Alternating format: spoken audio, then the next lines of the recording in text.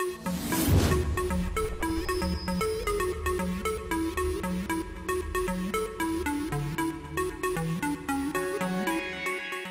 welcome student, Rastogi online coaching classes में आपका स्वागत है। आज क्लास बारह के रसायन विज्ञान चैप्टर वन के बारे में अध्ययन करेंगे।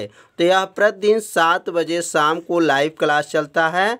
आप सभी विद्यार्थी यह सात बजे लाइव क्लास से जुड़िए और मेरे वीडियो को देखिए और एक अच्छे से नोट्स तैयार कर लीजिए। तो इस भाग में पढ़ेंगे ठोसों में निबिड़ संकुलन।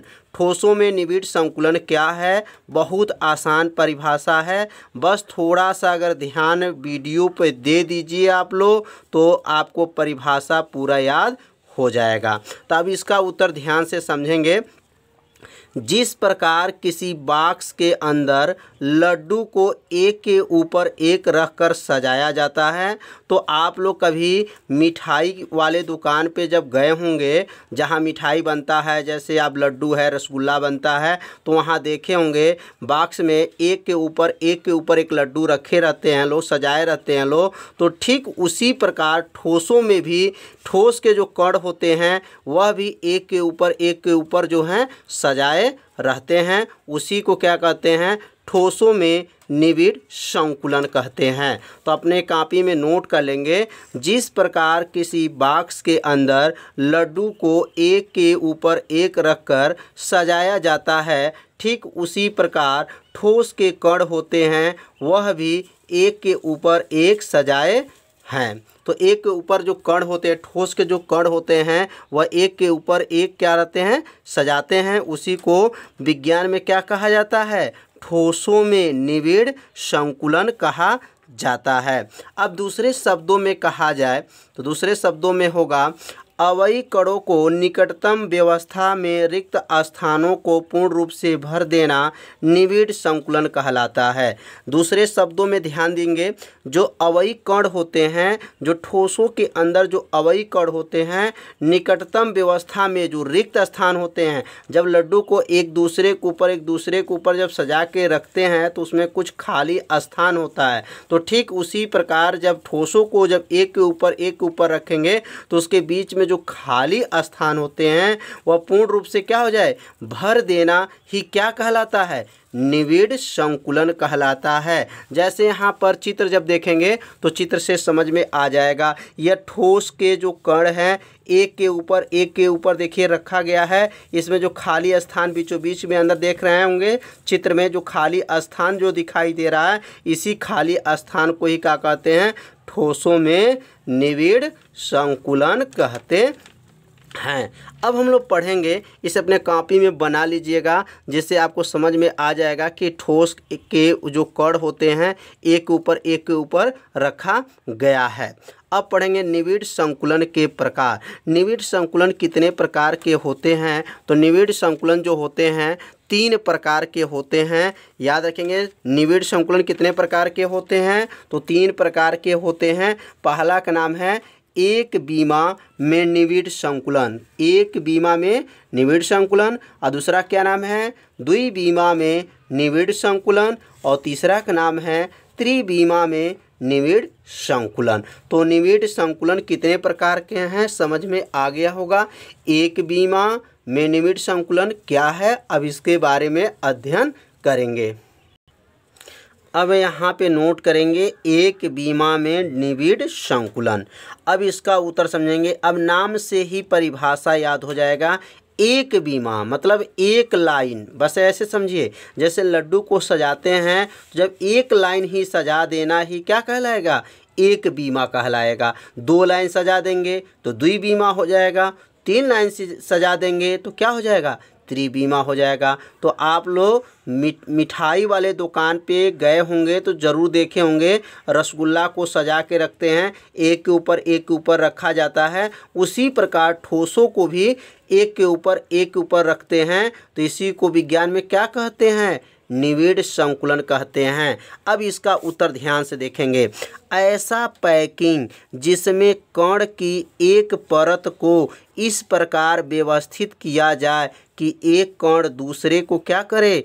स्पर्श करे। जब एक लाइन में जब आप लोग लड्डू को देखे होंगे, रखा जाता है तो एक लड्डू दूसरे लड्डू को क्या करते हैं? स्पर्श स्पर्श में स्पर्श का मतलब सटा के रखा जाता है। तो जब एक लाइन को जब स्पर्श करके रखा जाएगा तो उसी को क्या कहते हैं? एक बीमा में निविड़ संकुलन कहते हैं। तो अपने कॉपी में इसको नोट कर लीजिए कि ऐसा पैकिंग जिसमें कण की एक परत को इस प्रकार व्यवस्थित किया जाए कि एक कण दूसरे कण को क्या करे? स्पर्श करें। स्पर्श का मतलब सटे, उसके अंदर सट करके रखा जाए। जो इसमें ठोस के कण होते हैं, एक के बगल में जब दूसरा रखेंगे तो उसमें क्या हो? दोनों क्या हो? एक दूसरे के क्या हो? स्पर्श करें।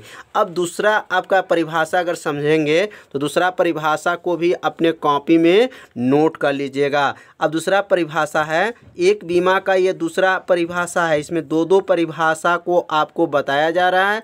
जो आपको आसान लगे परिभाषा, उस परिभाषा को आप लोग याद कर लीजिए। तो इसका परिभाषा होगा इसमें अवयी कण के गोलों को एक पंक्ति में निकटतम व्यवस्थित किया जाता है। इसमें जो अवयी कण होते हैं, गोलों को एक पंक्ति में, एक पंक्ति मतलब एक लाइन में इसको निकटतम व्यवस्थित किया जाता है। व्यवस्थित मतलब रखा जाता है, जिससे केंद्रीय गोला दो अन्य गोले को क्या करें? स्पर्श करता है। अतः इसकी समन्वयन संख्या क्या होती हैं? दो होती हैं। इनकी समन्वयन संख्या क्या होती हैं? दो होती हैं। कैसे दो होती हैं? अब चित्र से समझेंगे। जैसे एक गोला यहाँ पे रखा गया, दूसरा गोला यहाँ पे स्पर्श किया, फिर इसके बाद से स्पर्श किया। ऐसे एक लाइन में रखा जाएगा, जो एक दूसरे को क्या करते हैं? स्पर्श करते हैं। तो यहाँ एक दूसरे को जब स्पर्श करते हैं तो इसमें समन्वय संख्या तब क्या होती हैं? दो होती हैं। तो समझ में आ गया होगा, एक बीमा में निविड संकुलन क्या है? बहुत आईएमपी या हेडिंग है, इसे अच्छे से आप लोग तैयार कर लीजिए। और अगला हम लोग जब पढ़ेंगे, द्वि बीमा में निविड संकुलन। अब नाम से ही पता चल जा रहा है कि द्वि बीमा अब द्वि बीमा निविड संकुलन का अर्थ है कि यहाँ पर जो है दो लाइन को, दो लाइन में जो ठोसों को सजाया जाएगा और एक बीमा का मतलब है एक पंक्ति में इसको ठोसों के अवयी कर्ण को क्या करेंगे? सजाया जाएगा। तो यहाँ पे अब लिखेंगे, द्वि बीमा में निविड संकुलन ये कितने प्रकार के होते हैं? तो द्वि बीमा में निविड संकुलन दो प्रकार के होते हैं। पहला का नाम है वर्गाकार निविड संकुलन, और दूसरा का नाम है खष्टकोणी निविड संकुलन। तो द्विबीमा में जो निविड संकुलन होते हैं, वह दो प्रकार के होते हैं। याद रखिए, पहला का नाम क्या है? वर्गाकार निविड संकुलन, और दूसरा का नाम क्या है? खष्ट कोड़ी निविड संकुलन। अब हम लोग समझेंगे वर्गाकार निविड संकुलन क्या है, और उसके बाद से समझेंगे खष्ट कोड़ी निविड संकुलन क्या है। दोनों का उत्तर बहुत ही आसान है। बस थोड़ा सा अगर ध्यान दीजिए तो आपको पूरे उत्तर ये अच्छे से याद हो जाएगा। अब इसका उत्तर को ध्यान से देखेंगे, वर्ग का निविड संकुलन का। अब इसमें जो परिभाषा बोला जाएगा तो लिखा जाएगा, जब ठोस के कण एक के ऊपर इस प्रकार रखें। देखिए, जब ठोस को, जो ठोस के जो कण होते हैं, एक के ऊपर ऐसे आपको सजाएँगे जो उसकी आकृति किस जैसे बन जाए। वर्गाकार आकृति बन जाए। जैसे लड्डू को सजाए देखे होंगे, कई कई जगह दुकानों पे जब गए होंगे तो लड्डू को त्रिभुज के आकार सजाया जाता है, रसगुल्ला को त्रिभुज के आकार के सजाया जाता है। तो यहाँ पे जो है, वर्गाकार के रूप में, वर्ग के रूप में जो ठोस के जो कण होते हैं, किसके रूप में? वर्ग के आकृति के रूप में इसको सजाया जाएगा। इसी को क्या कहते हैं? वर्गाकार निविड़ संकुलन कहते हैं। अब यहाँ पे इसका उत्तर लिखेंगे। जब ठोस के कण एक के ऊपर एक इस प्रकार रखें कि एक वर्गाकार आकृति बने। किस आकृति बने? वर्गाकार आकृति बने। इस प्रकार के निविड को वर्गाकार निविड संकुलन कहते हैं, कितना आसान है। अगर खष्ट कोड़ी का परिभाषा बनाना हो तो सेम उत्तर रहेगा, बस यहाँ पे जो है, वर्गाकार के जगह पर खष्ट कोड़ी रहेगा। क्या रहेगा? खष्ट कोड़ी आकृति बने, इस प्रकार को निविड़ को क्या कहेंगे? खष्ट कोड़ी निविड़ संकुलन कहते हैं। तो अब यहाँ पे जो है, वर्ग निविड़ संकुलन का आकृति को देखेंगे जब तो यह ठोस के अवयी कण है, इसको एक के ऊपर, एक के ऊपर क्या हुआ है? सजाया गया है। आ इसके में देखेंगे, जब सजाने के बाद से देखेंगे, इसके अंदर जो है, एक वर्गाकार जो है आकृति बन रहा है। तो इस वर्गाकार आकृति बनने की वजह से इसका क्या नाम हो जाएगा तब? वर्गाकार निविड़ संकुलन। अब यहाँ पे जब चित्र देखेंगे तो यहाँ पर भी जो अवयी कण है, एक दूसरे के ऊपर क्या हुआ है? सजाया गया है। तो इसमें जो आकृति बन रहा है यहाँ पर, यह आकृति को क्या कहेंगे? खष्ट कोड़ी निविड़ संकुलन कहते हैं। तो समझ में आ गया होगा दोनों आकृति। तो इसकी परिभाषा तो बता दिए। अब इसकी परिभाषा भी अपने कॉपी में नोट कर लीजिए। तो खष्ट कोड़ी निविड़ संकुलन। अब इसका परिभाषा जब अपने कॉपी में लिखेंगे, अब इसके पहले क्या बताए हैं? वर्गाकार निविड़ संकुलन। तो वर्गाकार में क्या है? वर्ग के आकार जैसे। वर्ग किसे कहते हैं? जिसकी चारों भुजाएँ आपस में क्या हों? बराबर हों। खष्ट कोड़ी मतलब इसमें छः भुजाएँ हों। खष्ट कोड़ी का मतलब इसमें कितनी भुजाएँ बने? छः भुजाएँ बने। तो लिखेंगे, जब ठोस के कण एक के ऊपर इस प्रकार से रखे हों कि एक खष्ट कोड़ी आकृति बने। जब ठोस के जो अवयी कण है, एक के ऊपर, एक के ऊपर ऐसे सजाएँगे, जिसमें आकृति कैसा बने, खष्ट कोड़ी आकृति बने तो इस प्रकार के निविड संकुलन को खष्ट कोड़ी निविड संकुलन कहते हैं। तो समझ में आ गया होगा खष्ट कोड़ी निविड संकुलन क्या है? अब वर्गकार निविड संकुलन क्या हैं? और एक बार आकृति को एक बार और देख लेंगे। इसमें जो बना हुआ है आकृति, ध्यान देंगे, इसमें छह भुजाएँ हैं। एक, दो, तीन, चार, पाँच, छः। इसमें छः भुजाएँ हैं। इसलिए इसे क्या कहेंगे? खष्ट कोड़ी कहेंगे। और इसमें चार भुजाएँ हैं। और ये आकृति जो है वर्ग है, जिसकी चारों भुजाएँ आपस में क्या हैं? बराबर हैं। तो इसलिए यह वर्ग निविड़ संकुलन है और यह जो है खष्ट कोड़ी निविड़ संकुलन है। अब समझेंगे त्रिबीमा में निविड संकुलन क्या है? तो बहुत आसान है, त्रिबीमा नाम से ही पता चल जा रहा है कि इसकी परिभाषा क्या होगा। त्रिबीमा मतलब तीन लाइन या तीन पंक्ति कह सकते हैं, या दो पंक्ति के ऊपर एक पंक्ति और रख दें तो कौन सा बीमा बन जाएगा? तो त्रिबीमा बन जाएगा। तो इसका उत्तर जब अपनी कॉपी में लिखेंगे तो इसका उत्तर होगा, जब द्विबीमा संरचना के ऊपर एक बीमी संरचना और रख दी जाए। अब देखिए, दुई बीमा जो हमारा जो संरचना बना हुआ है, उसके ऊपर एक और बीमा संरचना क्या कर दिया जाए? रख दिया जाए।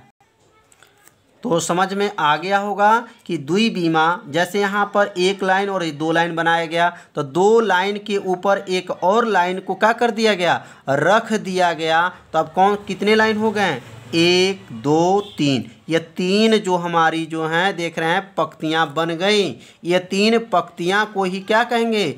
त्रिबीमा में निविड़ संकुलन कहते हैं। तो समझ में आ गया होगा, त्रिबीमा में निविड़ संकुलन क्या है? द्विबीमा के ऊपर एक बीमा संरचना और रख दी जाए तो इस प्रकार के संकुलन को क्या कहेंगे? त्रिबीमा में निविड़ संकुलन कहते हैं। तो इस भाग में आज हम लोग पढ़े हैं निविड़ संकुलन। निविड़ संकुलन क्या है? निविड़ संकुलन के कितने प्रकार होते हैं? तो इस वीडियो में आज के जो पढ़ाई हुआ, निविड़ संकुलन हुआ कल के जो वीडियो अपलोड किया जाएगा, बताया जाएगा तो कल के वीडियो में हम लोग पढ़ेंगे रिक्तियाँ। क्या पढ़ेंगे? रिक्तियाँ कितने प्रकार के होते हैं? कल तो कल के वीडियो ज़रूर आप लोग अध्ययन कीजिएगा। कल का जो वीडियो रहेगा रिक्तिका, और रिक्तिका के बारे में कल अध्ययन किया जाएगा। तो आज इतना ही वीडियो में बताया जाएगा।